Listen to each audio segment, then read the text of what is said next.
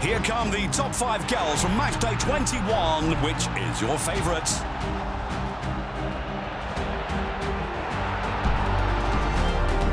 Well, that's nice play by William. Good ball in. Oh, brilliant. Fantastic goal. That is a tremendous goal scored by Steffen.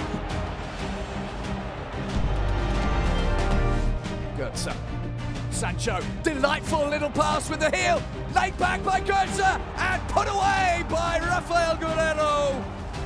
It's three, and after a little wobble, Dortmund extend their lead.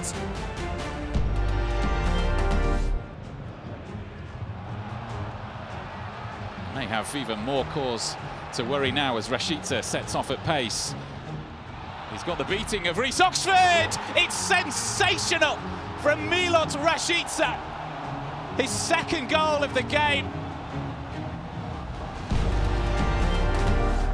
Here's Salomon Kalou. Taking it on himself. Kalou, brilliant! Oh, superb! A moment of absolute inspiration from Salomon Kalou. It's Fink, though. Gonna line one up. Oliver